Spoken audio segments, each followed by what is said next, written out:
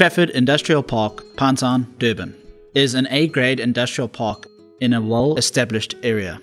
The park consists of large warehouses, which are well suited for manufacturing, distribution, and warehousing. The property is in close proximity to Richmond Road and public transport is easily accessible. The area is home to multinational companies such as Man Trucking and Beier Group. Warehouses are available from 2,000 to 9,500 square meters, with a minimum power allocation of 800 amps. For leasing information, contact Anvil Property Smith.